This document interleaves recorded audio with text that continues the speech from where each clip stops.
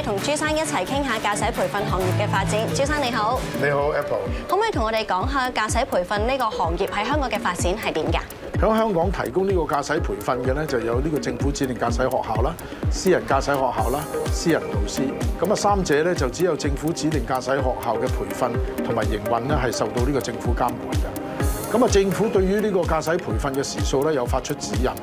對於呢個培訓嘅課程內容咧就冇硬性規定㗎。咁啊，私人駕駛學校同埋私人教車師傅咧，多數都係根據佢哋過往嘅經驗去教導佢哋嘅學員，內容咧就不盡相同。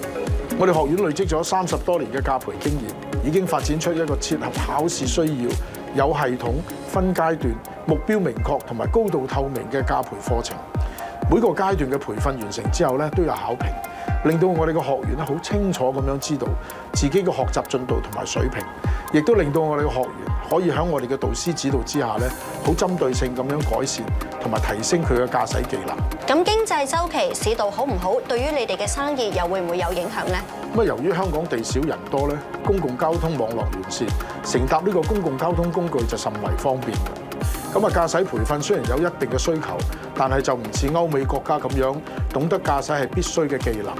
咁因此咧，經濟周期對學車意欲有好大嘅影響㗎。經濟唔好嘅時候，有意學車嘅人多數都會等經濟好嘅時候先考慮去學車。咁行業嘅規模同埋發展同其他國家嘅比較又係點㗎？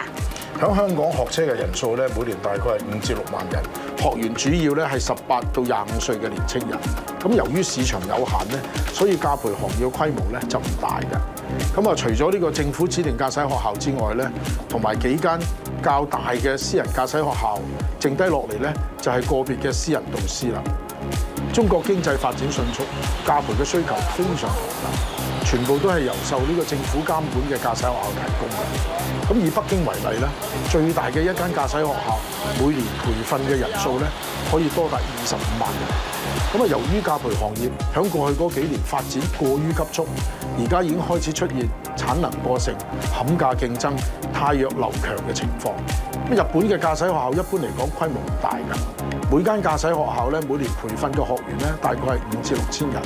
咁由於日本出生率低、人口老化，所以年青學員嘅數目咧係有唔足嘅情況。咁啊引致咧駕駛學校之間嘅競爭咧係非常之劇烈嘅。今日多謝晒朱生嘅分享。